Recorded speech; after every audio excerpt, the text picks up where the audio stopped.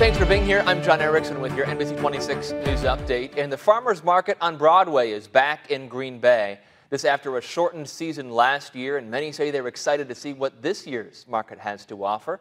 From spring flowers to fresh produce, there are many different items, and organizers say it's events like these that vendors really depend on.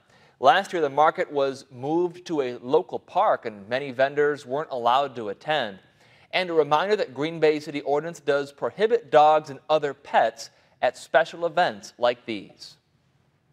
Today, a group of graduating high school seniors signed on to become the first in their family to attend college. Members of the College Ready New Scholars Program signed their college letters of intent.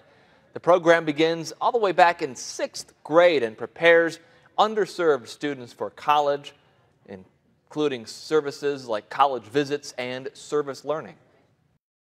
Today was really the culmination of a seven-year commitment these students made by joining our program, wanting to be college ready. And today they signed those um, letters of intent saying they're going to college. So this is a big day for them.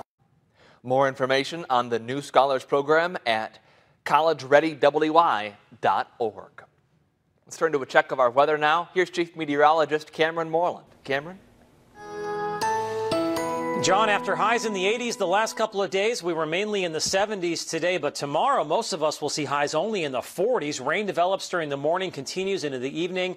It's not out of the question a wet snowflake or sleet pellet could mix in, especially north and west of Green Bay. Gusty northeast winds will drop wind chills into the 30s. Rain giving way to some spotty sunshine late on Friday. Saturday morning, some frost is possible. And then we're going to warm back up. Seasonable conditions return for Sunday, Monday, Tuesday, and Wednesday. Look for lots of lower to mid 70s. Have a great night.